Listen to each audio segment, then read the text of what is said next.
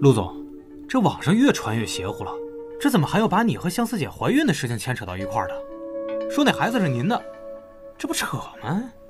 新闻的传播速度很快，覆盖范围很广，转发的人多了，可信度就高了。现在还有一大堆黑粉黑你跟乔乔，你说这有没有道理啊？黑我可以理解，黑乔乔为什么？因为我这肚子不争气，和你感情不和，导致你要出轨相思，让你国民老公的形象破灭。微博留言都看过了，时间能证明一切，我没关系，我只是怕你和相思。假新闻被打击之前，都会被当真相看待。要是我们不打击假新闻，会造成很大负面影响的。我同意，哥，必须采取行动。你有什么建议？既然大家攻击的是你们两个，我建议把你们两个秀恩爱的形象给重新建立起来，秀给他们看。秀恩爱？对。这……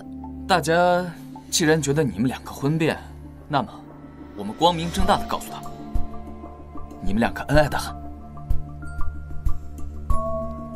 啊，对了，哥，过两天有个慈善晚会，到时候你俩一块去，让他们知道什么才是真正的国民老公。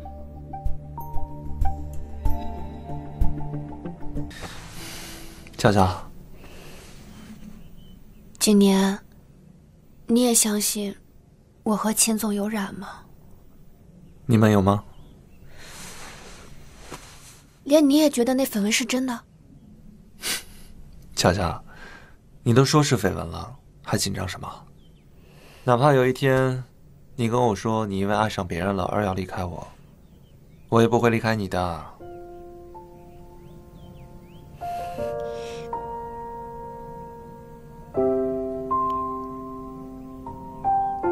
这辈子都不会离开你。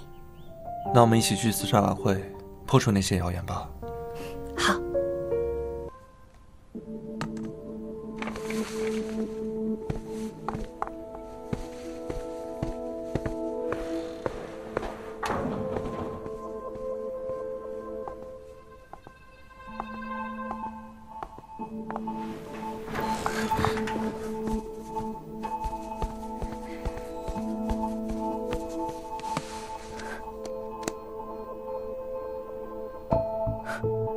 乔安好，你竟然和秦总关系也密切，我可又多抓了你一个把柄。这回我要在慈善晚宴彻底整垮你。哼！出来了！哎，陆先生，您要不要回应一下婚变的事儿？陆太太，您跟秦总是不是曾经在一起啊？陆先生，您相信您的太太吗？鲤鱼传媒是怎么看待这个婚变的？是谁传的？心里有谱吗？是谁传的？我不在乎。我在乎的只是我们家乔乔会不会受伤。如果谁真的害她受伤的话，那就请做好和我还有鲤鱼传媒永远敌对的准备。我这一生只爱几年一个人。哎，陆先生，陆先生，陆先生，我们还有其他问题呢。哎，请您回答一下呀。别走啊，陆太太。哎，陆总。陆先生。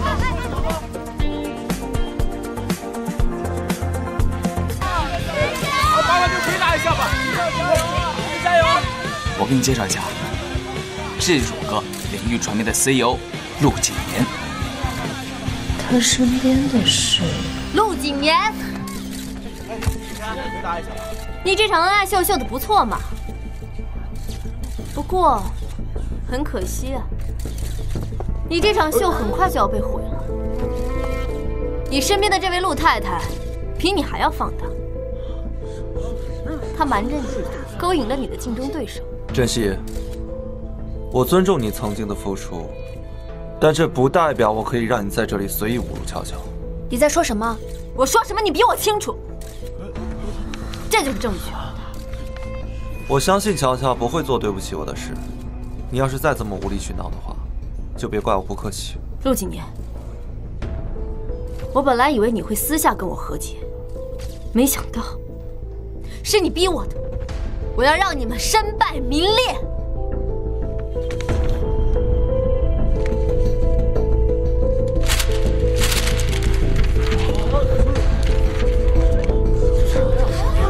快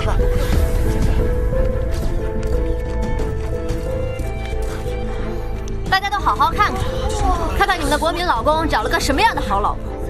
天哪，珍惜以前是这样的人吗？是不是那个被曝有珍惜和他有合作啊？他这是想自罚还是想害人啊？真搞不懂。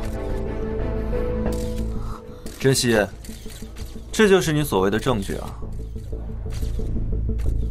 我没想到你会变成这样。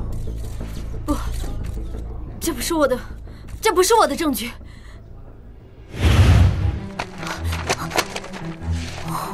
嗯，你的，是你，是你调包了我的证据。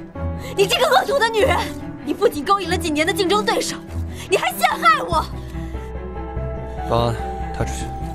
抱歉，请跟我们走吧。放开我！放开！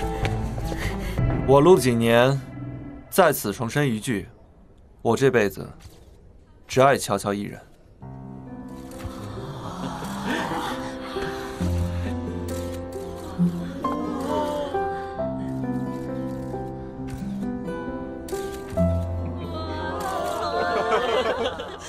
真幸福啊！不愧是我哥。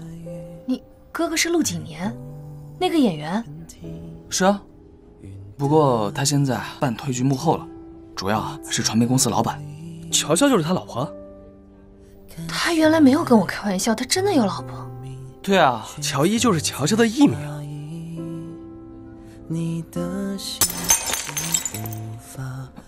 没事吧？我还有点事，我先走了。安小姐，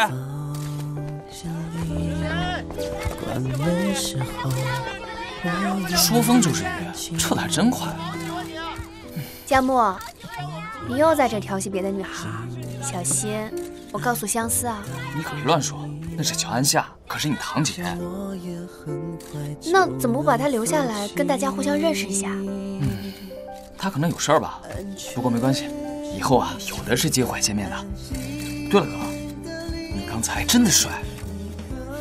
所以啊，你可不能被你哥比下去了。嗯。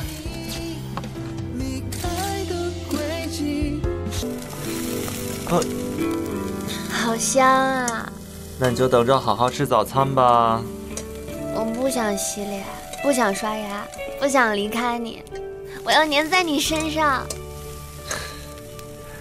让我好好看看。那我得好好伺候伺候陆太太。走啦。